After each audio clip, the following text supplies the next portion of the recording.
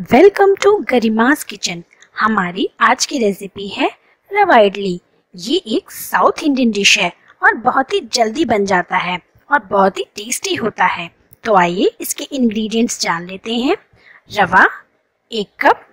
दही, एक कप। नमक, स्वादानुसार।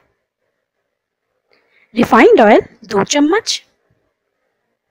राई, एक चम्मच। उड़द दाल एक चम्मच,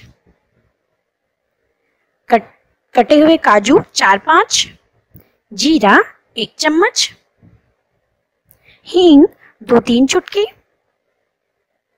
हरी मिर्च, अदरक और करी पत्ता, इनो एक चम्मच।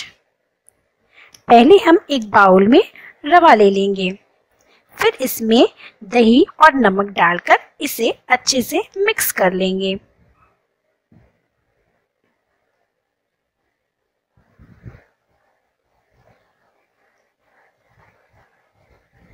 अब हम इसमें थोड़ा सा पानी मिलाकर इसका घोल तैयार करेंगे। इसे अच्छे से मिक्स करेंगे। देखिए, ये घोल इस प्रकार से दिखेगा। अब हम इसे ढककर 15-20 मिनट के लिए रख देंगे। 15-20 मिनट बाद ये हमारा बैटर तैयार है। अब हम इसमें तड़का लगाएँगे। इसके लिए एक फ्राई पैन में तेल गरम करेंगे। तेल गरम हो जाने पर हम इसमें राई डाल देंगे। फिर हींग, उड़द दाल, जीरा, काजू, हरी मिर्च, अदरक और करी पत्ता डाल देंगे और इसे अच्छे से मिक्स कर लेंगे।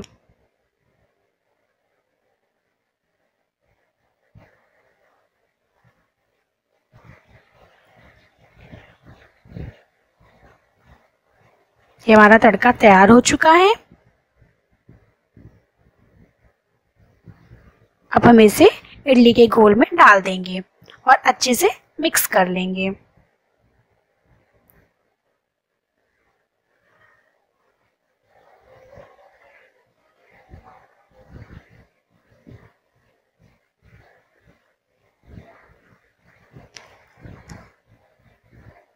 अब हम इस घोल में इनो मिला देंगे। ध्यान रहे इनो हमें सबसे लास्ट में मिलाना है। अगर इसे पहले मिला देंगे तो इडली ठीक से नहीं बनेगी। इनो मिला के अच्छे से मिक्स कर लेंगे।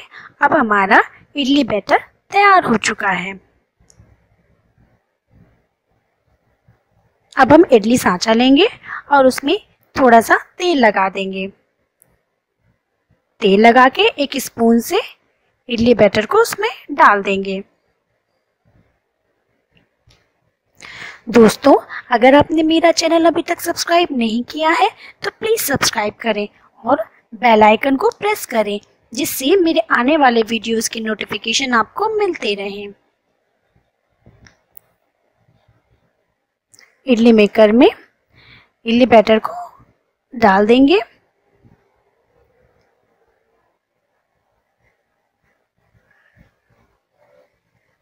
अब हम एक बर्तन में पानी गर्म करेंगे।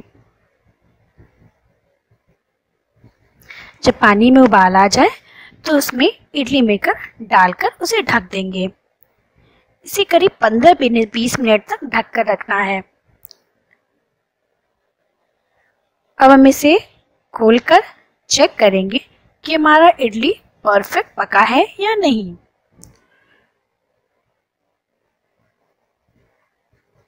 इसके लिए हम एक बाउल में पानी लेंगे और उसे उंगली पर लगा के इडली को टच करके देखेंगे। ये उंगली पर नहीं चिपक रहा है तो हमारा इडली बनकर तैयार हो चुका है। अब इसे सावधानी से इडली मेकर से निकालेंगे। अब हमारा इडली सर्व करने के लिए तैयार है।